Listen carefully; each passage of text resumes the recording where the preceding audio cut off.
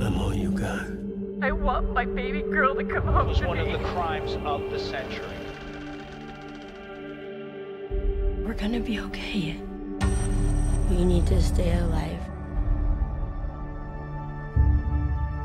There's gonna be a new member to our family. Don't be scared.